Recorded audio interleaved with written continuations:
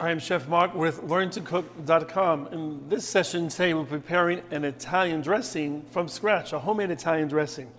Well, you'll want to get, of course, this perhaps Italian white wine vinegar, but any white wine vinegar will work. Uh, perhaps Italian olive oil, but even California olive oil works fine.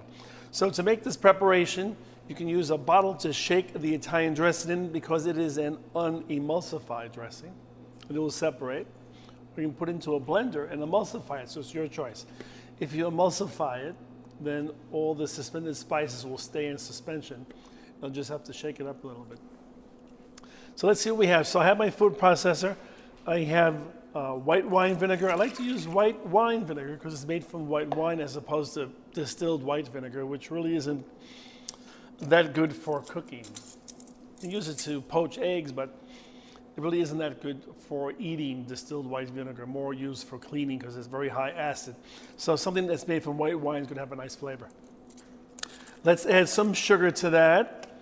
The better vinegar quality you get, you can use champagne vinegar, uh, white wine vinegar, you can even use raspberry vinegar, but the more higher quality vinegar you get, the better tasting Italian dressing you'll have. Same with the olive oil. So add some sugar to soften some of the acidity. And then I added lemon juice, fresh squeezed lemon juice. And now we're going to add our various spices in order. A teaspoon of garlic salt, because it dissolves easier than, than powdered garlic. Same with the um, onion salt. Now you can mince up onions if you want and add it to it, but Again, there'll be raw onions inside. So the garlic salt and the onion salt also give you that savory salt flavor. And you don't have to mince up garlic and onions. And sometimes that deteriorates also in a dressing. Then ground black pepper.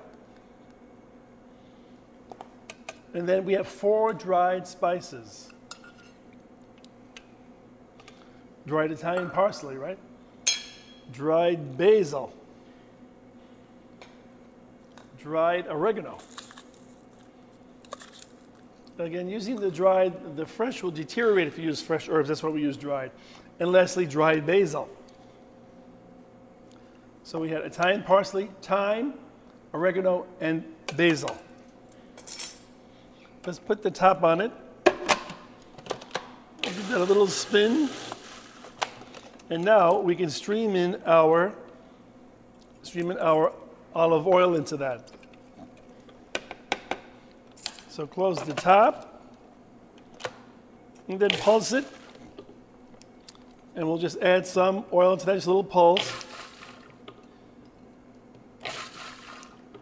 We'll add about a half a cup of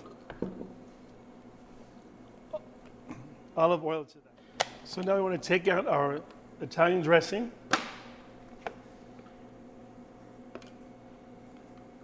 and pour it into a bowl.